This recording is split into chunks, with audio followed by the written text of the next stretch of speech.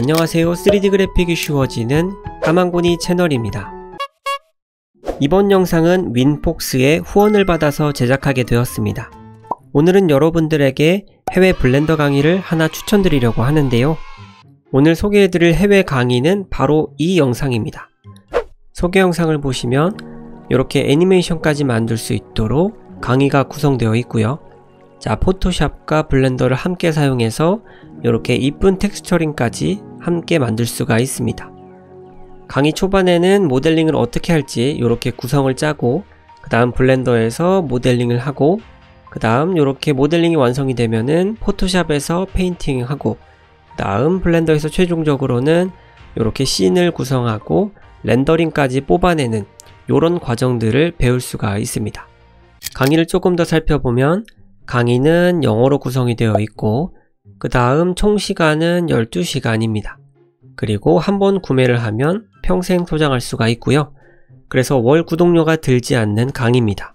강의는 초급자랑 중급자 대상으로 구성이 되어 있고 그리고 아래로 내려보시면 이 강의가 어떻게 진행이 되는지 이렇게 단계별로 잘 정리가 되어 있습니다.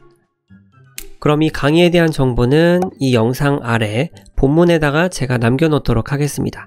그리고 알려드린 링크로 강의를 수강하신다면 까만고니 채널을 후원하실 수가 있습니다. 강의를 구매하는 방법과 쿠폰을 사용하는 방법도 알려드리도록 하겠습니다.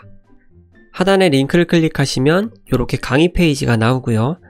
여기서 윙폭스를 먼저 가입을 해 주십니다.